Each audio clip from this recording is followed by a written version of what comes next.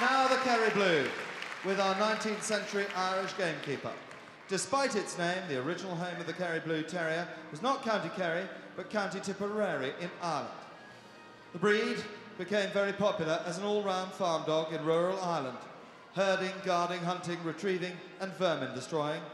And most sources claim that the race of the blue terriers with soft coats were present for several centuries, particularly in the southwest of Ireland.